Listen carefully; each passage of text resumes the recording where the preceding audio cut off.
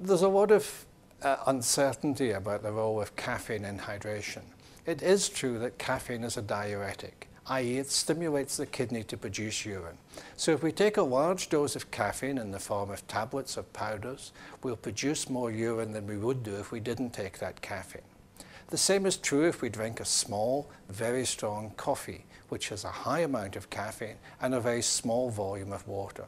However, the amount of caffeine we need to get a diuretic action is quite large. Most studies have shown we need about 250 to about 350 milligrams of caffeine to get a diuretic action. By contrast, a typical cup of tea contains about 60 to 100 milligrams, and a typical cup of coffee about 100 to 120 milligrams.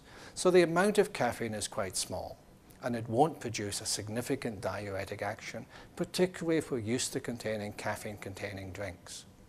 On the other hand, if we avoid these drinks, we may become more dehydrated if we don't replace them with something else. And many studies have shown that telling people to avoid caffeinated drinks when they're at risk of dehydration actually is likely to make them more dehydrated because the total fluid intake goes down.